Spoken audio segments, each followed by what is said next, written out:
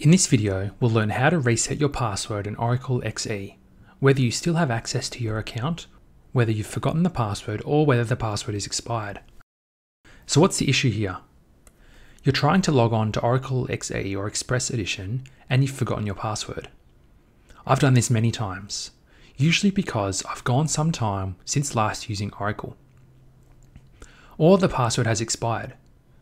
The expiry for a password in Oracle XE is 180 days, about 6 months, so if you don't reset it in this period, it will expire. So, how can you reset it? I'll show you how to reset your password, as well as reset it from another account if it has expired in this video. Let's have a look at how to reset your password. First, we'll set up a sample user just to play around with. To do this, we say create user John identified by and then the password. You notice I'm connecting as VM sysdba, which is my sysdba connection into my VM or virtual machine. It has a red border, which is a neat feature in SQL Developer to let me know that I'm connecting as a system account. Then I grant create session to this user. Let's quickly run these queries and then get on to resetting the passwords for them. Alright, so that's created. Now let's set up a connection for John.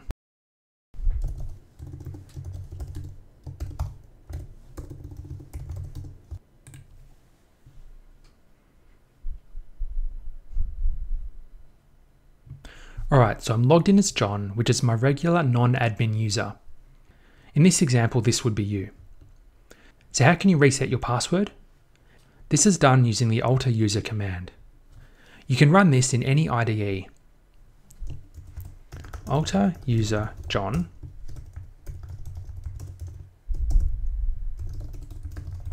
identified by a new password. So alter user John is the name of the user that you want to update the password for. Identified by is the keywords to use, and then new password is the new password that you want to store. So let's run this command. In the output, it says user John altered. This means the password has been changed. You need some admin permissions to be able to do this though, if you're a different user account, or you can be logged in as the current user, which I currently am. So if this works, great. This means you're able to log in as your own account and update your password. We can also do this in SQL+. But if you can't do this because the password has already expired or you've forgotten it, then you won't be able to log in and actually run this command on your own account. But don't worry, we can log in as another account. Several accounts come with Oracle Express Edition, such as Sys or System. You can log in with one of those accounts and change the password. Let's go back to our other tab here, where we're logged in as a SysDBA account.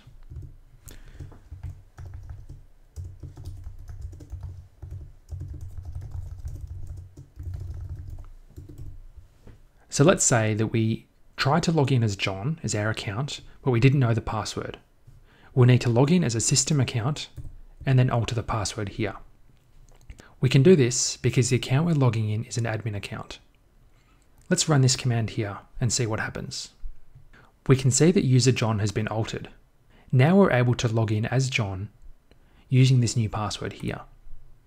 So that's helpful if you have access to your system account, but not the original account that you want to use.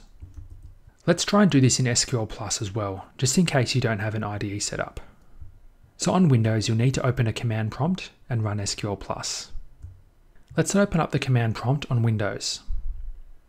I'm running a virtual machine because I need to run Oracle Express on a Mac, which I'll have a separate video for. But if you're running Oracle Express on Windows, then you should be able to open a command prompt. Once your command prompt is open, type in SQL+. Plus. Once SQL Plus starts, you can enter your system username and password. This would be sys as the username, and whatever the password is for that account.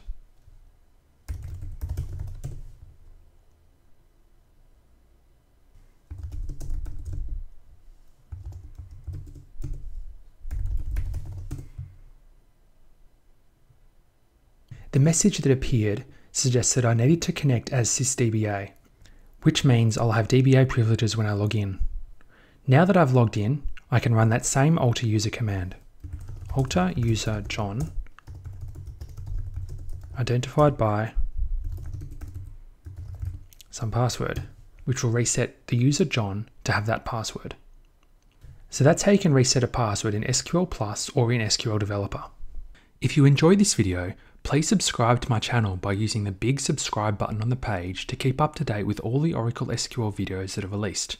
Also, don't forget to give the video a thumbs up and leave a comment as well.